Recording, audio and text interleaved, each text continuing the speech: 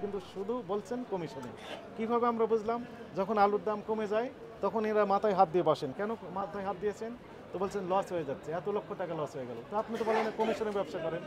লাভের ক্ষেত্রে ওনাদের বলেন যে কমিশন। আর যখন লস হয়, তখন বলে যে নিজের টাকাটা কম মানে লস হয়ে গেল। এই যে আপনি বলছেন, এদিক দিয়ে আসলে ওদিক দিয়ে পালিয়ে যায়, তারপরে হচ্ছে আপনাকে বিভিন্ন সময় তোপের মুখেও পড়তে আমরা দেখেছি। ব্যবসায়ীরা সংঘবদ্ধ হয়ে আপনাদের নানাভাবে কথাবার্তা বলার চেষ্টা করে। তা আপনারা তো জনগণের পক্ষ হয়ে কাজ করছেন, জনগণের অধিকার নিশ্চিতে কাজ করছেন, ভোক্তাদের অধিকার নিশ্চিতে কাজ করছেন। আমরা একটা সুস্থ বাজার ব্যবস্থাপনা আর কত বছর পর দেখব? আমরা চাই যে আজকে থেকে, এই মুহূর্ত থেকেই এটি তৈরি করা হোক, আর এই ক্ষেত্রে আমাদের যে ভূমিকা রয়েছে, আমরা এই ভূমিকাগুলোই পালন করতে চাই। ইতিবাচকভাবে সম্মানিত ব্যবসায়ীরা এগিয়ে আসবেন, এটি আমাদের প্রত্যাশা। একই সাথে আমরা যে কথাগুলো বারবার বলে আসি, এটি সহজ কথা। সেটি হচ্ছে যে যেখান থেকে পণ্যগুলো ক্রয় করা হচ্ছে, পাকে ক্যাশ মাও নিতে হবে।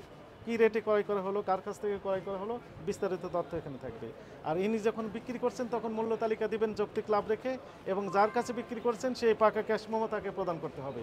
যেন খুচরা বাজারে গেলে আমরা টেস্ট করতে পারি যে এখান থেকে ক্রয় করা হয়েছে, এই রেটে ক্রয় করা হয়েছে এবং তার আবার কী পরিমাণ লাভ করছে, সেটাও আমরা একটু ভেরিফাই যেন করতে পারি। কিন্তু দুঃখজনক বিষয় যেটি, এখান থেকে পাকা ক্যাশ মোমো দেওয়া হয় না। দেখেন সারা রাত ধরে বিক্রি করেছেন কয়েকশো বস্তা। কিন্তু দেখলাম চার পাঁচজনকে শুধু পাকে কাশ্মীর দেওয়া হয়েছে। আর অন্য কাউকেই দেওয়া হয়নি। এবং উনি আবার বললেন যে, যেনারা খুচরা বিক্রেতা, ওনারা নাকি রেট বেশি করে লিখে নিয়ে গেছেন এই চার পাঁচজনের মধ্যে। তাহলে কি হলো? উনি ওখান থেকে আবার বেশি রেটে বিক্রি করার যে অসৎ প্রবণতা, সেটি উনি অ্যাপ্লাই করবেন। তো সেক্ষেত্রে কাস্টমারের কাছ থেকে মূলত টাকাটা বেশি নেওয়া নেওয়া হবে। এটি দুঃখজনক বিষয়।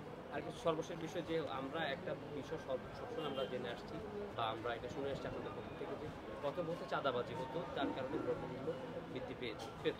এখন কি এই বিষয়টা আছে কি নেই আপনার এখন তো ব্যবসায়ীরা বলছেন যে না এখন সেই পয়সা আর দিতে হয় না। তো যদি না দিতে হয়, তাহলে তার ইফেক্টটা পজিটিভলি পড়ার কথা। দ্রব্যমূল্য কিছুটা হলে কমে যাওয়ার কথা। এবং এই সরকারের শুরুতেই কিছুটা কম আমরা দেখেছিলাম। কিন্তু তার পরবর্তীতে এই যে চাঁদার যে টাকাটা, ওনারা নিজেরাই অতিরিক্ত লাভ করছেন। আমার কাছে এটি আমাদের কাছে মনে হচ্ছে ধন্যবাদ দর্শক আমরা কিন্তু রয়েছি কারণ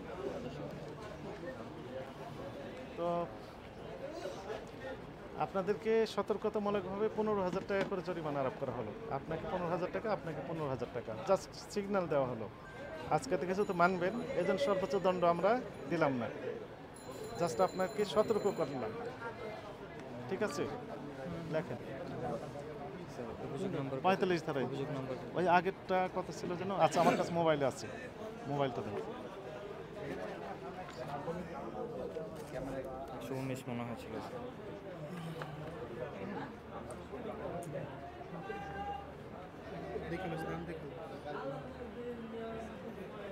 একশো আঠারো উনিশ একশো বিশ ছিল একশো একুশ। একশো বিশ ছিল। হ্যাঁ।